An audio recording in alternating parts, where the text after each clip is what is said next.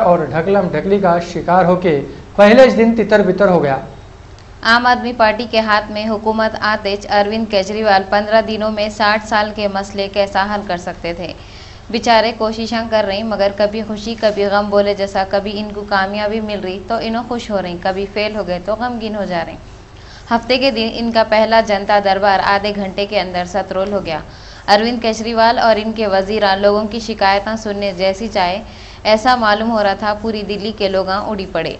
इन्हों कितने की लोगों की शिकायतें सुने, मगर दो काना, हज़ारों जबाना किस किस की सुनते बेचारे बौरान हो गए। लोग जो अपने परेशानियाँ सुनाने आए थे, इनके बातें चीफ मिनिस्टर नहीं सुन रहे बोल के चीख हम चाक करना शुरू कर दिए।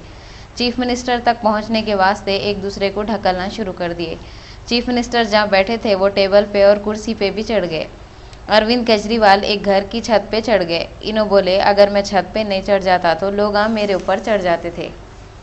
इन्हों बोले, आने वाले में ज़्यादा लोग ऐसे थे जो कॉन्ट्रैक्ट पे काम कर रहे। वो लोग परमानेंट नौकरी दियो बोलने आए थे।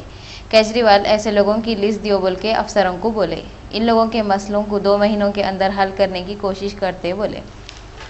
इन्हों ये भी बोले, इनको इतने लोग उड़ी पड़ेंगे बोल के उम्मीद नहीं थी कहते अब जो जनता दरबार लगाएँगे, वो पूरी तैयारी से करेंगे बोले।